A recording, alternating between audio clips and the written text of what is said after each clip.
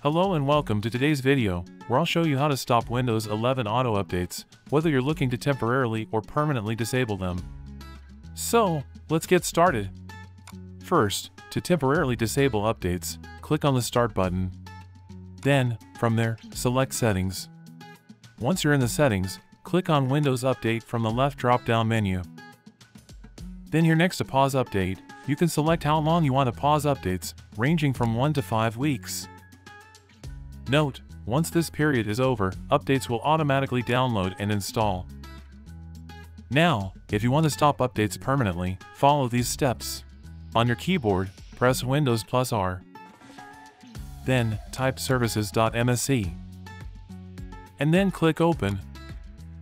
Once you open the Services section, scroll down the list until you find Windows Update.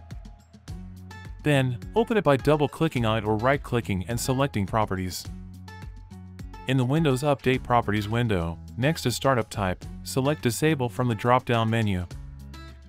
Click Apply, and then OK to confirm. And that's it!